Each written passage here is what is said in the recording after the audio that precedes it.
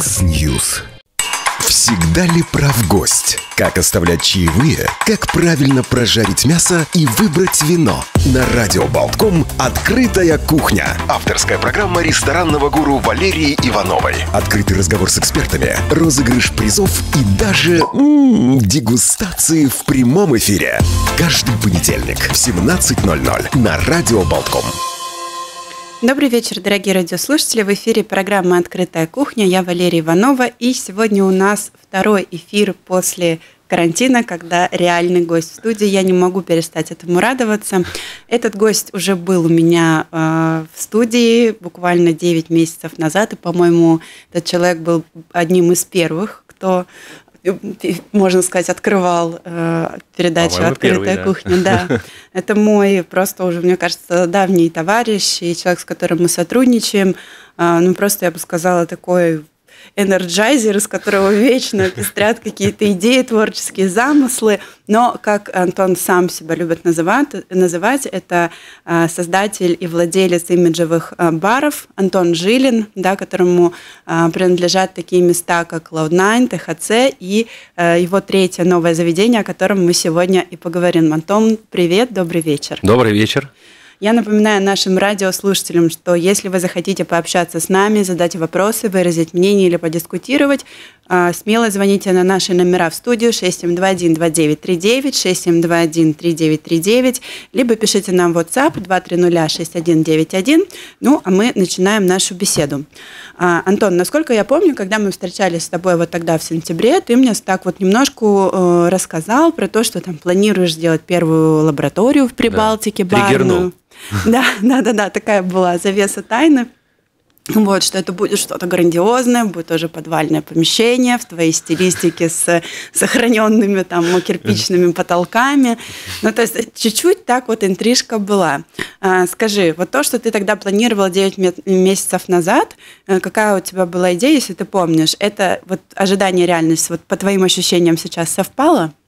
Она, наверное, даже превзошла а, а потому что, ну да, я не могу выбраться из подвалов или кирпичных.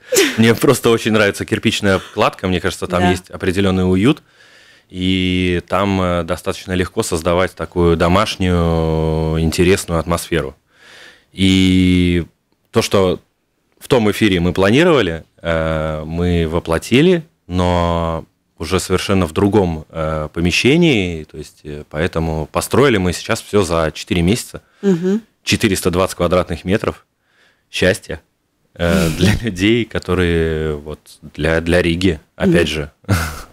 Название ком пишется, да, C O M. Да. А, многие там, кто, естественно, Рига город маленький, шли сплетни, а почему, да что, да как, такая тоже тайна. Можешь ли ты рассказать, вот э, как вы придумывали, был какой-то брейнсторм, э, рисовали на бумаге, проводили долго вечеров э, за размышлениями, почему? Вообще процесс открытия и придумывания определенного концепта – это всегда огромное количество брейнстормов. Да. Но благо у нас настолько крутая команда на всех проектах, что каждый брейнсторм это такое, это, это такой живой организм, который накидывает, накидывает кучу идей. И э, в этом проекте мы хотели создать такое мистическое угу. заведение. Оно такое и есть, с приглушенным светом. Э, у него внутри концептуально очень много граней. Э, он достаточно тонкий, и, допустим, вот там история с логотипом, она вообще такая тоже мистическая, потому что мы заказывали у кучи дизайнеров, получали не то, что нужно, и только в последний день, там уже чуть ли не до открытия, мы... моя жена нарисовала логотип. Правильно, твоя жена же занимается каллиграфией, каллиграфией и да. много она рисует, э, фантазирует тоже. Да. И как и... это произошло? Это был конкретный вечер дома или тоже где-то вы сидели? Как это произошло? А это произошло так, что самая большая лампа, которая стоит над первым баром, да. там несколько баров, э, вот, с длиной барных станций, по-моему, по-моему, в районе 17 метров угу. в длину, если сложить две. Вот. И, соответственно, над одним баром такой, такая огромная лампа за витушками. Э, и вот оттуда пошло, что там зашифровано есть ком. Ком, угу. сом, как угодно его можно интерпретировать. То есть, и... подожди, в завитушках вы Зав... увидели эти... Да, то есть увидели уже в готовом э, пространстве, что логотип как раз-таки зашит в эту лампу. Соответственно, если посмотреть на логотип... магента. Да, соответственно, если зайти в помещение, то можно увидеть сразу откуда, почему логотип такой да. э, нарисованный вот рукой. И, кстати говоря, э, этот логотип был сделан э, с первой, то есть первая версия, потом дальше мы начали дорабатывать, а давай так, а давай так, а эту линию так. Нет, это первый, нарисованный от руки, потом мы его оцифровали и добавили точку красную. Угу. От красной точки там тоже большая история, потому что у нас стоит одна из самых э, передовых аудио. В общем, аудиофилы там кайфанут, потому что стоит Void Acoustics, очень так, мощный. давай русским языком. У нас тут не, не все могут понимать твои супертермины. Что такое Void Acoustics? Это что это такое? Это премиальный, э, премиальный звук, high-end. Сейчас тебя за слово премиальный, как после нашего того интервью, разорвут. Ты не ну, читал комментарии в Ютубе? Я не успеваю за всем уследить. Э, да, но... Съехал, съехал. Да, да за, всеми, за, всеми поток, за всем потоком информации, потому что он сливается в каких-то безграничных количествах. Мне да. пишут, пишут, звонят, э, спрашивают. Вот. Э, ну, пусть будет неприятно. High-end, quality, sound. Вот. Но Просто нам важно, что... звук крайне высококачественный, да. потому что нам важно, что как человек видит, как человек угу. слышит, и этим самым и создается атмосфера.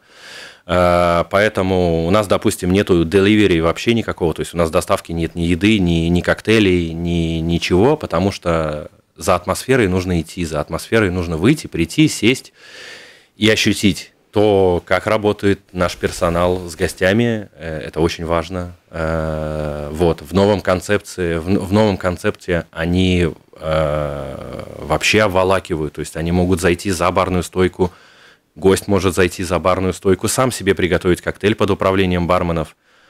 Можно так сказать, что делать можно все, что хочешь за нашими барами. Угу, угу. Ну, то есть у нас такая достаточно свободная атмосфера. 420 а, метров. Да. Что там происходит? То есть, э, насколько я помню, когда мы с тобой встречались э, 9 месяцев назад, ты сказал, что это будет такое мультифункциональное пространство. Да. Потому что если мы говорим про ТХЦ, да, то есть там это такое кальянное чил э, место, где да. люди сидят, общаются, там нет кухни, Там нет кухни, у нас кухня только с э, партнерами рядом ресторан, но да, так как ну, рядом ресторан, кейтеринг, кейтеринг, да, такой. Да. А в Клоунайне у вас специфика, что late night kitchen. Да. До двух часов ночи можно отведать э, просто премиальный. Ну ладно, действительно очень вкусное блюдо от шеф-повара, э, от закусок до десертов и там потрясающе вкусного, до сих пор его помню и всем рекомендую стейка из тунца. Вот. То здесь, что касается кухни.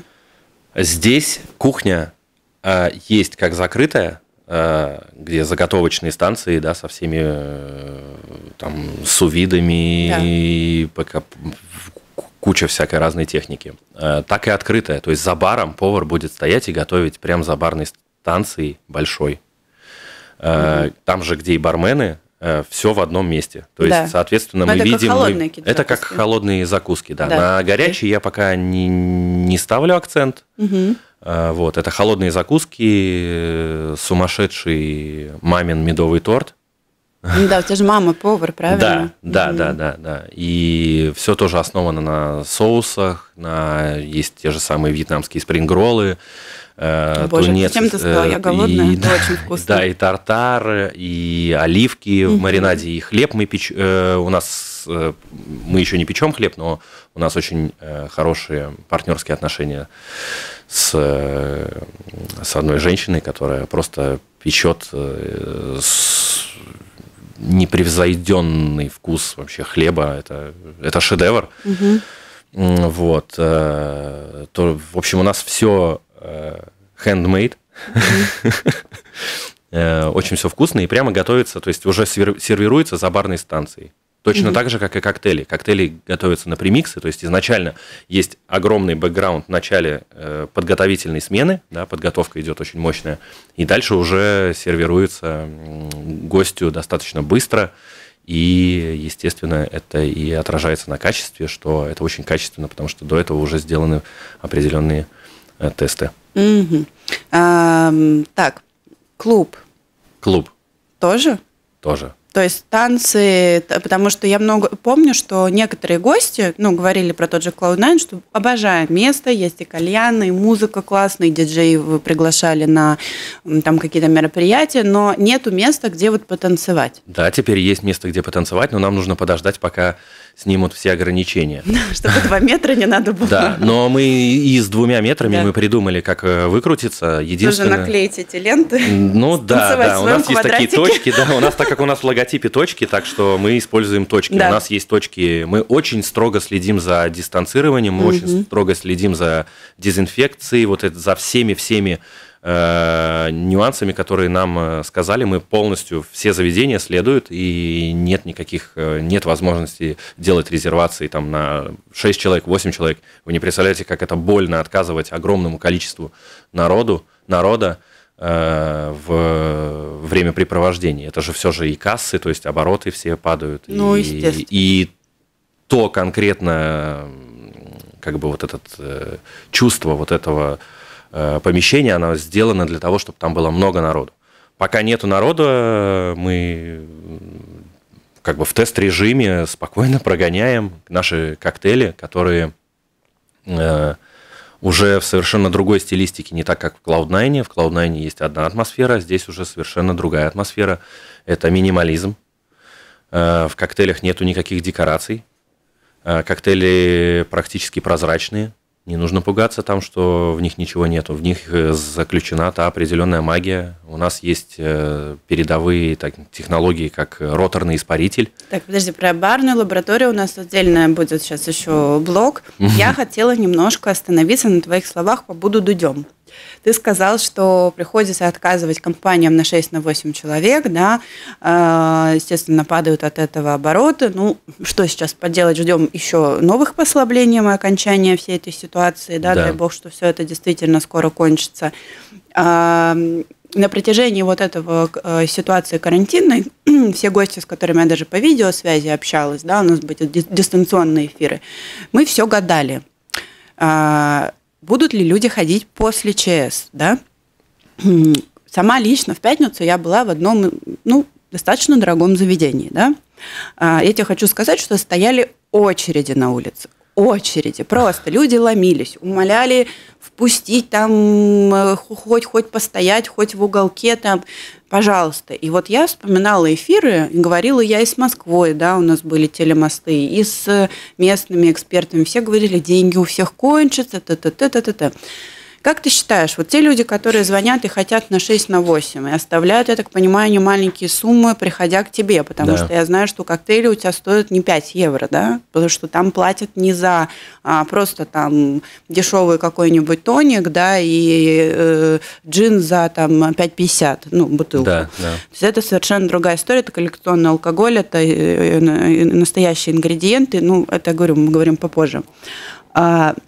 Значит, получается, что твоя целевая аудитория, выжившая, это те люди, у которых э, и всегда было все хорошо с деньгами, правильно?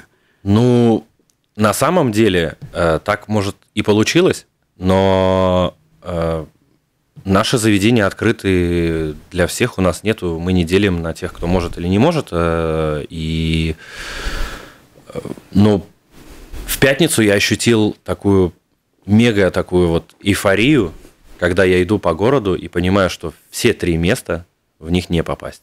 Потому ну, что они все у людей переполнены. есть деньги, правильно? Э, возможно, так. Не, ну как? Э, ну, то есть, во-первых, люди соскучились. Ну, да. Э, сидеть дома и получать коктейли там на вынос или еду, да, это в какой-то момент надоест. И слава богу, что ребята из других баров они позаботились о своих, э, ну, то есть и о своих, и о наших гостях, э, сделали доставку. Вот. И этим люди пользовались и пользуются. И, наверное, это новое какая-то даже движение будет. Ну, тенденция, да. Тенденция, да. Мы Мы такую тенденцию не можем показать, потому что все-таки, допустим, в Cloud9 у нас все это такое, ну, то есть мы создаем другое, мы создаем атмосферу конкретно на месте. Вот, но у нас же очень, доста... ну, очень большое количество гостей. То есть, если даже кого-то кризис коснулся больше, э, он будет ходить меньше. Но из-за того, что у нас постоянных гостей процентуально, там, наверное, 80 на 20, то есть 80 постоянные гости, 20 э, приходящие новые, то угу, мы угу. пережили достаточно, достаточно хорошо кризис, угу. потому что Cloud9 был закрыт несколько, полтора месяца, по-моему, угу, да. Угу. Мы только сейчас его переоткрыли. Э, вот. Э, а ком, он только-только открылся. То есть это еще вообще даже, я еще не... Сколько вы уже открыты, получается? Вот была первая неделя. Первая неделя, и вот, соответственно, в уикенд этот вы хорошо отработали. Мы хорошо отработали, и слава богу, наверное, ну это будет как-то кощунство звучать странно, что по поводу того, что слава богу, что этот карантин, нет, но было заявок в десятки раз больше, чем мы могли посадить. Угу. Вот. Ну, поэтому мы проработали в э, свободном режиме, э, в котором э, мы все же открыть новое заведение это новый, новый организм. Угу. Да, там есть определенные сбои, есть и персонал стрессует. И вот у нас получилось, у нас получилось отработать моменты, которые там нравились, не нравились. Э, есть время поменять, э, заменить что-то, либо там по сервису проработать, э, по подаче проработать, по кухне проработать. Много, угу. Очень много моментов. Угу. У меня на, там, не знаю, там отчеты на 25 А4 листов. Так что мы, мы только за развитие, за то, чтобы... А какая гость... была дата планируемая открытия, вот если бы не произошло то, что произошло во всем мире? А, у нас была даже, у нас э, был тестовый прогон 14 марта.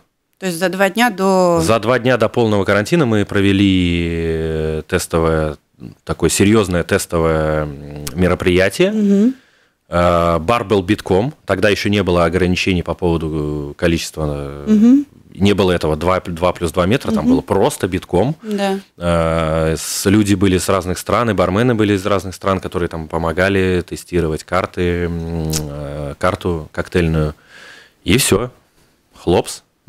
Это был один рабочий день. Нам а, нужно через буквально пару секунд уходить на рекламу, и перед этим я задам тебе вопрос слов. Что ты почувствовал 16 числа? Одним словом ответь первое, что пришло в голову. Э, опустошенность. Открытая кухня, мы уходим на рекламную паузу. Mix News. Снова здравствуйте, дорогие радиослушатели. В эфире программа «Открытая кухня». И, как я уже сказала, у нас сегодня снова реальный гость, я несказанно рада. А, сегодня мы встретились с Антоном Жилиным, человеком, с которым мы очень давно уже сотрудничаем, а, дружим такой абсолютный энерджайзер, который сам себя называет как, ну и, собственно, его коллеги, как создатели, владелец имиджевых баров, таких как THC, Cloud9 и его новый проект Com, о котором мы сегодня и говорим. А, если у вас есть какие-то вопросы, то вы можете смело нам их задать по телефону со связи со студией 6721-2939, 6721-3939 или написать нам WhatsApp 2306191. А, ну, а мы продолжаем остановились мы на опустошенности. Давай да. теперь про наполненность. А, значит, там будет клубная зона, танцпол, а, диджей-сеты, кухня, барная стойка. С этим мы разобрались. Планируешь ли ты делать там какие-то тематические вечера, например, мастер-классы, связанные а... с кухней и баром? Естественно, мало того, что мастер-классы – это одна часть. Э, у нас огром... Так как у нас огромная зона, мы можем делать и корпоративы, и мастер-классы. И вообще мы очень любим обучать э, наших гостей, э, потому что нам есть что рассказать, есть что показать э, в разных... То есть мастер-класс может быть и по вину, и по еде, и по приготовлению коктейля. И даже, в принципе, можем и поучить и музыке, потому что у нас очень хорошие ребята в команде собраны, извиняюсь, ну, такие как Мон, Монвол, это наши, муз... наши ребята музыкальные, э, Антон и Настя. Ну, я лично знакома вот, с Антоном. Это такая угу. необычная музыка, даунтемпо, такой чил рейв и Была достаточно новая, даже. да, достаточно новая, эм, э, новый стиль музыки, и мы пытаемся его как-то вот привить гостям, показать, э, рассказать и как-то так, да. Ну и стримы вы проводили. Мы стримы проводим. У нас угу. сейчас идет мини-сериал Ком, который угу. э, состоит, там, по-моему, из, будет состоять из пяти серий. Угу. В первой серии это мы показываем как раз-таки помещение первого бара. Угу. Эпизод э, там, где ребята играют э, музыку live э, на Пелевина, э, читается за кадром. А я, я пью... не успела, да, посмотреть. Да, а я пью коктейль и э, сама идея, что меня бармен понимает без слов. То есть я пью коктейль, э, читаю книжку, и как только у меня заканчивается коктейль, бармен, предугадывая мое желание, что я хочу следующий, он мне уже готовит следующий. Во второй серии мы показываем бар второй, и там я уже лаборант, работаю на как раз-таки на роторном испарителе, э, разделяю, дистиллирую ром с мятой, обесцвечивая его. Вот. А Третья серия – это уже показан, показана комната за первым баром. Наверное, зрители, слушатели запутаются, сколько там помещений, потому да. что там очень много всего. Ну, э, это почти, такой оазис счастья. Почти пять соток. Да. Дачка в центре города. Да, вот. И во втором э, в третьей серии у нас рождается логотип ком, где я пью вино, потому что у нас винная карта тоже такая необычная, там много органических, биодинамических вин, э, вот, подобранная с, с любовью и с очень хорошими партнерами по вину. Вот. И следующие серии уже будут на танцполе сделаны и еще при входе. У нас уже даже гимн есть ком, называется Come to Com. Вот, очень интересно, потому что вот... Э, ну, Молодцы, а, кстати, что такой интерактив уже на, стадии запуска, на первых порах стали да, это спасибо вот нашим ребятам, э, вот Антону и Насте, потому что очень легко работается с креативными людьми. Mm-hmm. Я сам по себе креативный, и поэтому. Плюс, насколько я знаю, Антон еще видеограф. Вот, это все, это все да. его работа. Да. И дело в том, что мы посмотрели, что стримов так много, что очередной стрим просто пускать э, с дискозала, он никого не зацепит. Угу. Поэтому мы решили стримы делать совершенно в разных локациях, показав показав э, все пространства и сделать совершенно разные стилистики каждую серию. Угу. И вот у нас серия там есть 45 минут, потом мы чуть-чуть поменьше сделали, посмотрев, насколько народу хватает его э, внимательности. Угу. Вот, внимание его. Вот угу. как-то так. Очень много экспериментируем, поэтому я вот, он и называется. хотела спросить, да, вот насчет видео, я видела, что вы выкладывали, еще вот э, не успела, да, просмотреть, э, но вчера, когда я готовила анонс к сегодняшней передаче, э, я так полистала на вашей страничке в Фейсбуке фотографии. Почему еще их нет? Практически. А как-то не сделали. Мы еще не успели, потому что Просто почему я пока не имею визуального представления, да, это, конечно, а, моя ошибка, что я еще не успела посмотреть видео, сегодня обязательно, да, просмотрю, ты меня заинтриговал. Но я хотела вчера, вот прям, знаешь, я такой визуал, мне надо вот картинка. Прям... Она скоро будет, она рождается, угу. и рождается очень интересно э, концептуально, как мы покажем коктейли, как мы покажем интерьер, как мы покажем те моменты, э, которые прису присутствуют в баре, потому угу. что надо как-то показать э, там совершенно уникальная барная станция, которая с подогревом, огромный э, камень из э, гранита. То есть, когда ты сидишь, тебе не холодно. А, в принципе, можно и лечь на нее. Она настолько мощная, что на нее можно лечь. под утро, да? Да. И там, там очень много э, скрытых э, вещей. Не то, чтобы скрытых, а они такие, как бы, они присущи но они вот во, во всем помещении. Там везде демируется по-разному свет. Вот это вот барная станция, которая с, с подогревом. В клубной зоне есть другой бар, который тоже из какого-то суперматериала сделан.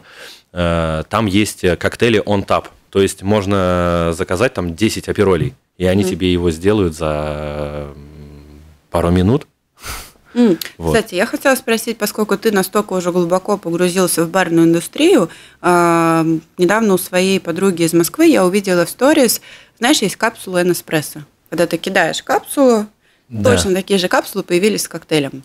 Как ты к этому относишься? Ну, как-то нейтрально.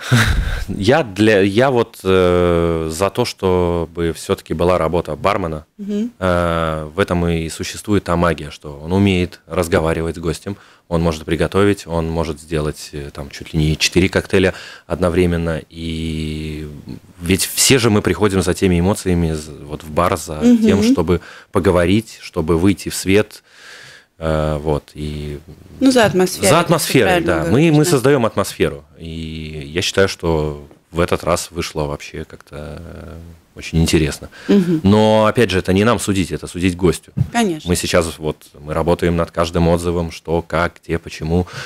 Э, и сейчас очень важный момент для нас. Технические вопросы, Антон. Сколько посадочных мест? Посадочных? В первом баре карантином или без? Ну, без, когда вот... Без э, карантина. Э, предыдущие, э, предыдущие ребята, которые арендовывали данное помещение угу. лет пять назад, у них на... Я нашел их Facebook страницу, они уместили туда 620 человек. То есть Неплохо. это была полная посадка. Да, у нас будет меньше, но, если честно, я не считал. Много. Угу. Я думаю, что посадочных мест в первом баре около 100, может быть, и ну, танцпол, и второй бар. Я не за массовость, я да. за качество всегда, угу. всегда. Но опять же, клуб подразумевает то, что люди будут стоять, танцевать. Конечно. Э, и во втором баре тоже по-другому создана атмосфера. Там есть э, диванчики, там есть... Лаунж, и, да? Да, да, да. Угу. да. Хорошо. Вот. Угу. Там нужно побывать, чтобы... А часы работы? В данное время у нас часы работы с 5 до 12. А после? А после мы будем работать и до 6, и до 8 утра, то есть до последнего гостя. И открываться? Открываться тоже с 5. Пока что с 5, с 5, да, а потом, может быть, мы... Ну, то есть, опять же, мы будем смотреть, анализировать, может быть, с 6. Но, в принципе, в принципе, там можно было бы сделать и круглосуточно. Но э, пока так. Угу, угу. Как тебе э, кажется, в чем главное отличие Cloud9 от Com? Не, понятно, там мы не говорим сейчас про помещение, что оно больше, что там будет, э, например, э, зона для танцпола, а вот по ощущениям. Ну, диаметрально два разных места, места совершенно. То есть у них и коктейли совершенно Просто разные. Cloud9, ты пойми, да, я вот как человек, который работает во всем этом, периодически бывает именно нарицательное. Ну, но все равно это два диаметрально разных заведения. Угу. Это прошло время, мы не сказать, что какие-то там тенденции улавливаем, потому что все же мы больше за то, чтобы выдумать самим. Угу. Там э, другая, то есть там уже минимализм, угу. если в Cloud9 это все-таки такое как бы пышные коктейли, вот, назовем, это, назовем их говорю, так, да. то здесь в бокале будет э, без каких-либо, не, нету ни декораций, нету ни костеров, да, которые угу. кладутся там. То есть очень все в минимальном стиле. И плюс даже работа барменов, она совершенно иная. Э, в Cloud9 за барную станцию нельзя заходить. Ну, как бы ты этого не хотел. Здесь ты можешь гулять где угодно. Можешь вокруг барной станции, можешь с барменом готовить коктейль, можешь э, с поваром готовить блюдо прямо за барной станцией. И, то есть такая открытость. Угу, угу. Хорошо, давай тогда вишенка на торте. И даже музыка другая. То есть музыка даже другой стилистики. Цена будет тоже такая более мистическая. Да. Угу. Ну и все, я хочу туда сходить уже. Обязательно ждем в гости. Про барную лабораторию. Ко мне э, приходил, ты помнишь, э, Артур э, Едуш да. из Гимлет Нордик, да. и они Молодцы тоже планируют ребята, да. покупать вот этот вот роторный аппарат. Да. Да. А, у вас первая лаборатория в Прибалтике. Ну, э, лаборатории, наверное, они бы существуют, да, но да. первый такой роторный испаритель, который серьезный, да. профессиональный, заказанный из Швейцарии, вот он у нас. Как это выглядит? Это отдельная комната, где люди в масках. Как, как это выглядит? Расскажи просто. Ну, я, понятно, ты мне покажешь, я когда приду в да. гости, но э, вот для наших радиослушателей, кто сегодня, вот для твоих потенциальных гостей, что это такое и для чего нужно было дорогущий этот аппарат, потому что Артур говорил, что это там не менее 5000 евро минимум стоит. Ну, он, по-моему, там чуть ли не под 20 тысяч евро. А, ну, Вот. Э, да, вот. Но сама история роторного испарителя э, пришла мне, когда я был в Москве или в Санкт-Петербурге. Мне очень нравилось, как там бурлит индустрия, и, да. и э, там у меня огромное количество знакомых. Э, вот, и мне потом показали э, коктейль. Я, насколько помню, это была без, э, обесцвеченная кровавая Мэри, но с теми же самыми всеми вкусовыми. То есть не красная. То есть не красная, а прозрачная, как вода угу. в бокале. А как это происходит? Но это получается, что в одну колбу мы заливаем водку, все, все э, ингредиенты в одну колбу, и потом она при вакууме кипение происходит при гораздо низшей, низких градусах. И она выпаривается, э, первым идет спирт, и дальше, дальше, дальше все остальное. То есть цвет остается в одной колбе, а в другой колбе у нас уже дистиллят. Я, к сожалению, химию списывала всегда. Я, к сожалению, тоже, и сейчас э, приходится все читать и самому тестировать, потому что это жутко интересно, и хочется через себя это все прогнать, как это все происходит. Э, это очень интересный процесс.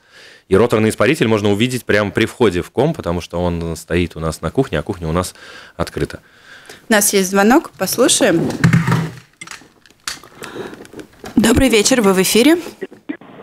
Добрый вечер. Здравствуйте. Можно я просто, ну, ради того поддержать э, разговор, еду, звоню, вот от безделья, можно сказать. Э, но попытаюсь, может быть, рассмешить как-то публику. Значит, смотрите, корпоратив новогодний. Девушке говорю, хочешь, я тебе сделаю коктейль? Она говорит, хочу. Я говорю, ну если я делаю, ты обязательно его пьешь, отказываться нельзя. Говорю, коктейль будет вкусный, замечательный, просто в жизни ты такой никогда не пила. Ну, дал такую рекламу, как вот, ну, не знаю, как сейчас с коронавирусом. Вот, ну, реклама просто шикарная коктейля. Ну, ладно, уговорил, она говорит, хорошо. Значит, коктейль заключался в том, я говорю, название у него, у коктейля, корпоратив. Корпоратив? Ну, как бы, почему, да, Почему? Потому что узнаешь в конце. Она говорит, все, хорошо, делай. Я говорю, отказываться нельзя, что пить сто процентов. Она говорит, да, все, соглашаюсь. Значит, в этот коктейль входило все, что было на новогоднем столе. Именно из э, жидкого. Это там и водка, и Хеннесси, все там соки, даже как бы там, ну, ради смеха добавили там ложку чая, ложку кофе, ну, просто так как бы, ну, что, чтобы было. А в оконцовке все это заливается кока-колой, на, и коктейль пьется. Первый глоток говорит, блин, какая гадость. Ну, это, это не, не, не какая гадость с таким отвращением, что как первый глоток. Говорит, потом говорит, ммм, вкусно. Значит, в оконцовке пробуют его все. Да? И как-то какую-то там может быть, пару-тройку месяцев назад мы э, были в одном из клубов э, рижских, если я не ошибаюсь. Ну, как бы, ладно, не буду говорить, какой клуб. Были в одном из рижских клубов, покупали какой-то коктейль, парень, сейчас я вас угощу, шикарным коктейлем. Стоил он тогда э, в районе там что-то 7, 7 лат, 7, 7 евро этот коктейль. Да, вот мы отдавали за него. И один в один вот то же самое, что нам давали. Да. Так. Вот, так, так вот. А, шикарно. Это Лонг-Айленд был? Это Лонг-Айленд, да, может быть, были, потому что Лонг-Айленд тоже там намешано вообще все-все-все, что только можно. Может быть, да. И чай, и водка, и... Это Лонг-Айленд Скорее всего, что, что это был э, Лонг-Айленд, э, так как я знаю, что туда добавляется какой-то коньяк, да, и заливается все это колой. Ну вот вкус один в один мы повторили как бы с коктейля, да, корпоратив. Кофе только там точно есть, не было. вопрос. Да. Да, может быть, есть вопрос. Кофе там была буквально ложка. Uh-huh. Может быть, вопрос, как, если вы создаете свой какой-то вот коктейль, как uh-huh. вы придумываете к нему название, от чего вы отталкиваетесь? Спасибо. Да, сейчас ответим. Спасибо вам за звонок. Очень интересно, да. А, Раскрой. Ну, название приходит э, точно так же, как и пришло название там, всех заведений. Это Brainstorm. И мы отталкиваемся от того, что мы хотим показать этим коктейлем угу. человеку дать как, опять же, это такой маленький триггер. Да. То есть, если коктейль, да, там мы берем базу и что, и какая эмоция коктейль создает, э, тем самым мы выслушиваем своих, э, выслушиваем своих э, сотрудников, коллег, какую эмоцию он дает, и, соответственно, придумывается название. Ну, плюс ты тоже еще хороший маркетолог, который понимает, на какие рецепторы, как работа с цветом, светом, да, во всех ресторанах и так далее, что да. вот он читает, и его это как-то интригует. Да, у нас еще один, кстати, звонок, что-то вот заинтересовал, Антон. Видишь, как ты поумничал? Добрый вечер, вы в эфире. Здравствуйте. Здравствуйте, слушаем здравствуйте. вас. А, ну да, здравствуйте, Антон. А, как раз э, недавно заходил, на прошлой неделе получилось к вам заскочить в бар. И, э, а в какой именно? Интересный. Именно в ком зашел. А. Угу. Вот. Э, без вывески так интересно зайти вовнутрь, посмотреть, что там. И я бывал и в барах и в Европе в разных. И сам концепт очень интересный, потому что, ну, как бы в Латвии, ну, и тем более в Риге, у нас таких не видел. И э, сами декорации, которые там тоже у вас были, было так, по сравнению с тем, что у нас есть на рынке, как бы сама идея была хорошая и интересная. Да, поэтому мне кажется, что будет подходящий контингент, который сможет зайти и попробовать. Вот. Спасибо. Цели, которые на дистиллате, но я еще как бы не сумел вот этот испробовать именно, но попробовал, я не помню, как у вас там был, как он назывался, такой... Ну, у нас там много коктейлей самый, самый популярный, который у вас там был на тот момент, он там как раз бармен показывал. Хризантема? На Airbus. Да, а. хризантема, да, вот именно вот этот. Вот, да, этот был прям очень вкусный. И э, я думаю, что все остальные тоже будут вполне достойны. Поэтому, да, продолжайте, пожалуйста, дальше, потому что интересно, вкусно и как бы что-то совершенно другое, что у нас на рынке нету. Спасибо большое. Заходите еще в гости. Спасибо вам огромное. Очень приятно. Так интересные звонки сыпятся. Нет, это действительно прям очень круто, что такая, представляешь, вот неделя только прошла, а уже Три рабочих даже, дня было. Да, да, да, люди уже звонят, э, благодарят и... Я никого не подкупал, ничего, ничего не делал. Слово даю.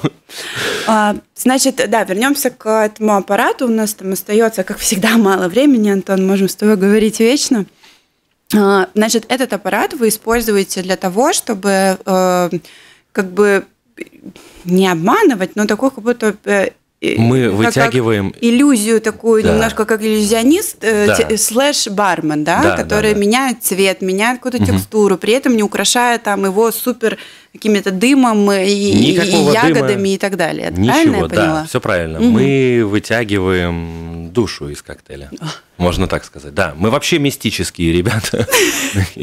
У нас очень много всего пронизано мистикой. Да. Э, да, это вот наше, да. Вот мне просто понравилось, как там, по-моему, то ли э, Шашин Евгений из Москвы или, или Давид Стеншин, вот это прям мои там кумиры, э, которые вот сказали, а как, что вы делаете с коктейлем? Вот мы вытягиваем душу из них. То есть, как бы, это, это в принципе, то, что делает роторный испаритель. Он забирает mm-hmm. все самое лучшее, ну, у меня тоже такая пере... ассоциация, да. какой-то джин. Да, да, да, да. То есть можно взять там джин, э, э, добавить в него специи. Нет, я джин в смысле лампы это. А, джин лампы? Да, да, да, что там что-то как джин вылетает, и вот, вот что-то такое. Да, но мы э, даже планируем и гостям в будущем показывать какие-то определенные будут мероприятия, где мы будем дистиллировать и делиться знакомить. Секретами, да, мы будем делиться. У нас нет никаких секретов. Мы будем показывать, как все сделано. У нас будет там YouTube канал, где мы будем рассказывать, как каждый из коктейлей приготовлен. Нам да. нечего скрывать.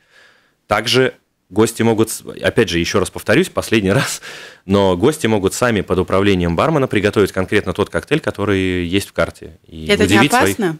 Своих... А чего? У нас ничего нет опасного. Мы Нет, вообще я, все я перепроверяем. Я задавала вопрос, почему, да, это не конкретно к тебе там какой-то Э, там, провокация, да, это я такой вопрос задавала тому же Артуру Едушу, да. да, потому что у меня был с ним эфир прям буквально через серии пару дней или на той же неделе, когда, помнишь, случился этот э, казус со смертельным летальным исходом с вечеринкой «Сухой лед», а. куда прыгнули, вот это все.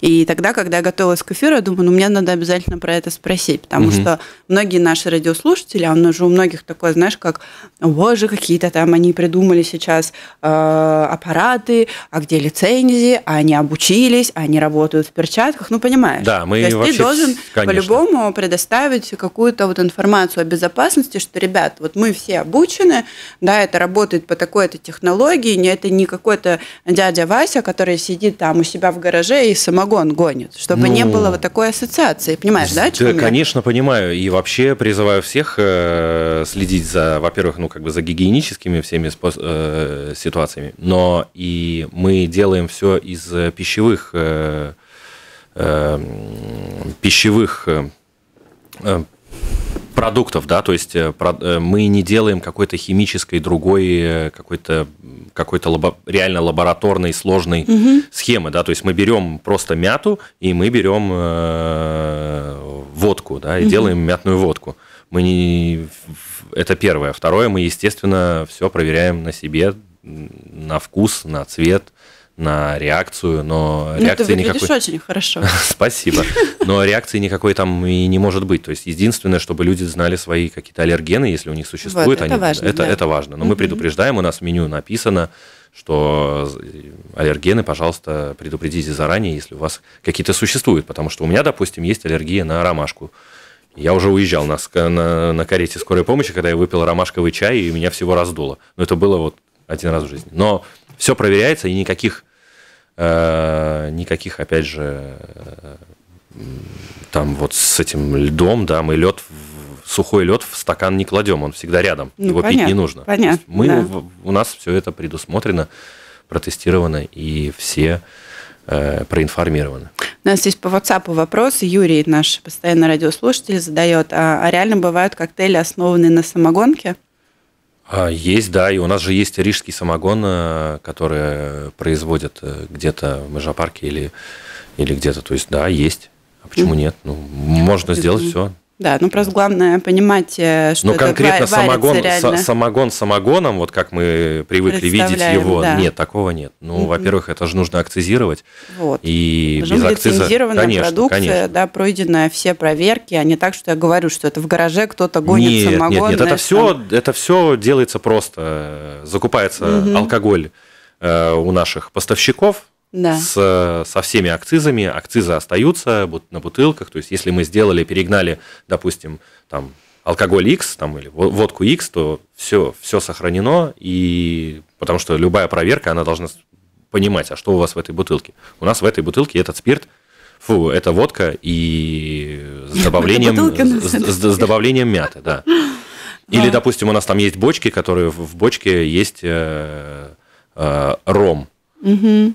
Мы просто взяли, купили у поставщиков конкретно этот э, ром, залили туда, и вот он в бочке у нас хранится там 4 года уже. Да. Э, вот. И у нас все сохранено, что там конкретно хранится. У нас вообще все по правилам. Я не люблю переходить. Не, ну, вы эти... бы не открылись, и, конечно. Это мы бы не открылись, и мы бы не работали Учитывая 4 года. Уже, ужесточение всех, всех правил. Да. А, все это понятно. У нас осталось, к сожалению, две минуты, но так как в анонсе у меня было указано насчет лояльности твоей команды, да, я хочу, чтобы ты, может быть, коротко выделил для себя ну вот выводы, которые ты сказал, что спасибо карантину, э, я тоже говорю честно, да, спасибо карантину, потому что я очень много для себя выводов вынесла и уроки и так далее. Ты можешь сейчас не говорить там про лояльность вот прям открыто, просто вот скажи, какие выводы ты сделал насчет своей команды? Ну, я всегда говорил, что это лучшая команда, лучшие команды, потому что mm-hmm. все работают немножко раздельно, mm-hmm. то есть мы разделяем проекты. Но то, как показала себя команда в карантин, угу. это огромное вам спасибо, ребята, потому что, ну, то есть они реально лучшие, они понимают, что сделать, как сделать. Э, я прям, ну, безумно благодарен. Вот команда там Cloud9, они переоткрылись за один день, они мы всегда были на связи, слушали там мнение, что, как, где, все получили по оболсцы, это тоже о многом говорит.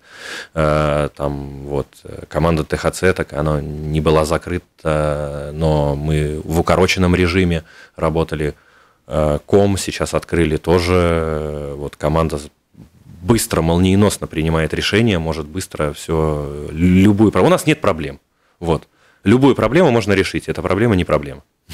Ну, это Чего и другим хорошо. желаю, чтобы да, вот у всех все было хорошо. хорошо но на этой радостной ноте нам, к сожалению, нужно заканчивать. Антон, э, я очень рада, потому что буквально там полтора месяца назад я тебя приглашала на эфир, потому что я видела, как ты был расстроен. думала, может быть, я тебя взбодрю, мы поговорим. Ты, как знаешь, на сеансе у психолога выговоришься, но ты мне сказала, Лер, прости, я так разбит, не готов сейчас. А потом я увидела, что действительно у вас хорошо прошли выходные, и а почему бы не пообщаться и поделиться этой радостью и получить еще такие звонки и э, а, еще больше рассказать о своем э, проекте, который сбылся? Я вот. очень рад всегда быть у тебя на эфире и, и на любые темы зови, и на животрепещущие, и на вот, то есть, как, как бы тут получился такой рекламный немножко э, эфир, но да. Сейчас, сейчас нас Сейчас нас уже, да, будут ругать. Но я всегда, всегда да. рад и на более глубокие темы э, переговорить, э, быть участником Спасибо. какой-то дискуссии Спасибо. интересной. Спасибо большое. Антон Жилин сегодня был у нас в студии. А, Валерий Иванова, Родион Золотарев, наш звукорежиссер. Открытая кухня. До встречи в следующий понедельник.